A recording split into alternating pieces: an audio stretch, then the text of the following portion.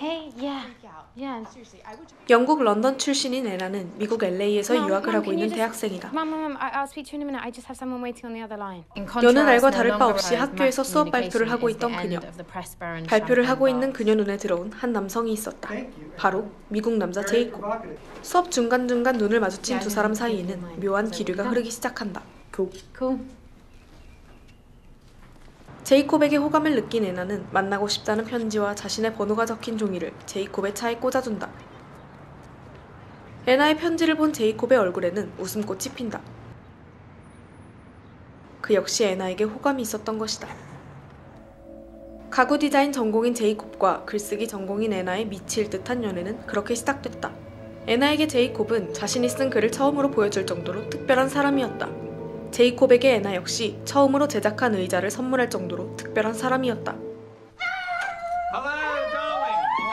두 사람은 영국에서 미국까지 온 애나의 부모님까지 만나며 더욱 깊은 관계가 된다. 항상 행복만 가득할 것만 같았던 이들의 연애에 구름이 들어오기 시작한다. I'll come back and I'll get a work visa. 사실 행복만 가득한 연애는 인간의 지나친 욕심일 수도 있다. 모든 연애엔 어려움이 있을 수밖에 없기 때문이다. Not worried. 애나와 제이콥 커플에게 닥친 어려움은 바로 애나의 비자였다. 졸업 후 비자가 만료돼 영국으로 돌아가야 하는 상황에 놓인 애나. 곧 떨어진다는 슬픈 현실에 두 사람은 예전처럼 행복하게 웃지 못한다.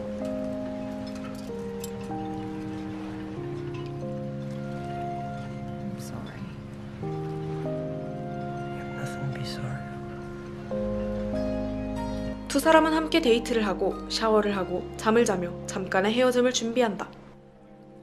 그리고 이튿날 아침 제이콥을 미친 듯이 사랑했던 애나는 중대한 결정을 내린다. 이렇게 두 사람은 계속 시간을 보내며 뜨거운 여름을 보낸다.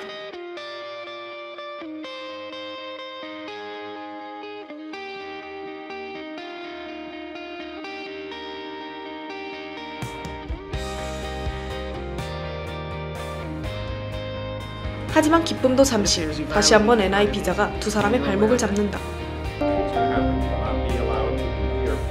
영국에 갔다가 미국에 재입국하려던 애나는 비자 위반으로 공항을 통과하지 못한 채 미국으로 돌아가야만 했다. 공항 게이트 몇 개를 두고 만나지 못한 이들. 단 몇 분이면 만날 수 있었던 두 사람의 거리는 비자 문제로 인해 결국 비행기로 10시간만큼 벌어지게 된다. 미국에 남은 제이콥과 영국으로 돌아간 애나. 두 사람은 각자의 바쁜 일상과 시차로 통화를 하지 못하는 상황이 반복되자 차츰차츰 서로로부터 멀어지기 시작한다. 하지만 여전히 마음 한켠에는 서로가 자리 잡고 있다. 늦은 밤. 통화가 연결된 두 사람은 그저 일상적인 인사를 주고받으며 짧게 전화를 마치지만 Hey. 그리움에 복받친 애나는 다시 제이콥에게 전화를 걸어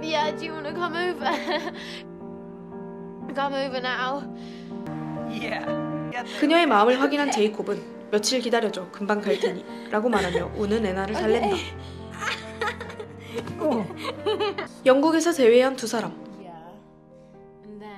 예전처럼 다시 침대에서 뒹굴며 행복한 시간을 보내지만 왜인지 제이콥은 소외감을 느낀다. Um, yeah, good. How are you? Yeah. do- It doesn't feel like I'm actually part of your life. I feel like I'm on vacation.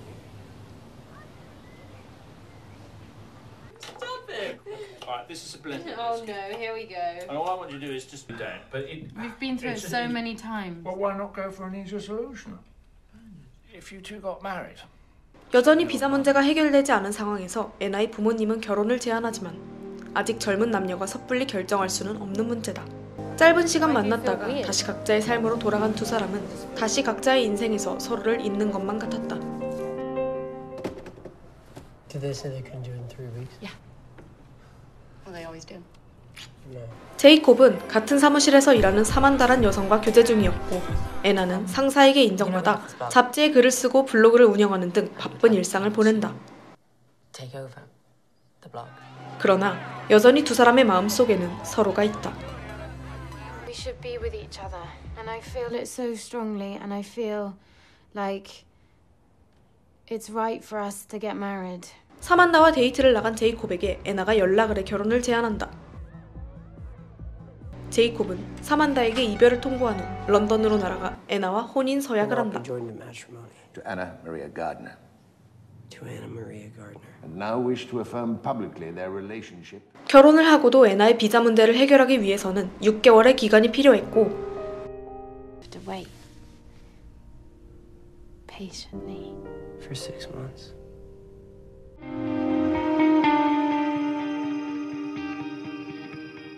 그 기간이 지나 런던에서 다시 만난 두 사람은 함께 비자 문제를 해결하기로 한다.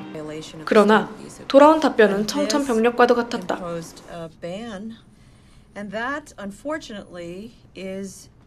과거 the 비자 reason 위반 I 건으로 can't 약혼 비자 신청을 진행하거나 비자 제한 해제를 할 수 없었던 것. 계속 같은 문제로 만남과 헤어짐을 지속한 탓에 두 사람도 지친 상태다. 금방이라도 깨질 것처럼 관계에 균열이 생기기 시작하고 결국 다른 이성 문제로 크게 다툰 뒤 헤어지고 만다. 미국으로 돌아간 제이콥은 다시 사만다를 만나고 애나는 영국에서 사이먼이란 남성과 교제를 시작한다.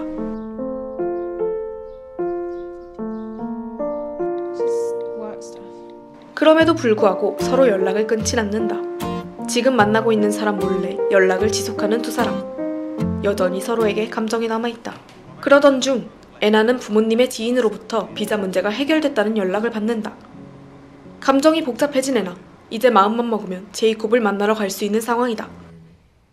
결국 그녀는 사이먼에게 이별을 통보하고 승진까지 한 잡지사를 그만두고 미국으로 넘어가기로 결심한다. 애나의 소식을 들은 제이콥도 다시 사만다에게 이별을 고한다. 우여곡절 끝에 다시 미국에서 만난 두 사람. 하지만 처음 미국에서 만났을 때와는 크게 대조되는 모습이다. 미칠 듯이 뜨거웠던 사랑을 보이지 않는다. What about something in the magazine? Is there anything in that? 제이콥의 작업실에서 각자의 일을 보던 두 사람은 같이 샤워를 하기로 한다. 옷을 벗고 함께 물을 맞는 두 사람은 서로를 껴안고 미칠 듯이 뜨거웠던 과거를 떠올리며 생각에 잠긴다. 그렇게 아무 말도 하지 않은 채 애나가 먼저 나가고 제이콥이 홀로 물을 맞는 모습을 비추며 영화는 끝이 난다. 라이크 크레이지는 제목처럼 미칠 듯이 사랑했던 연애 초기부터 다툼, 권태기, 이별, 그리고 재회를 겪은 한 커플의 감정을 매우 섬세하게 보여준 작품이다. 영화지만 영화 같은 연애가 아닌 현실의 연애를 다룬 영화. 재밌게 보셨다면 구독, 좋아요 부탁드릴게요.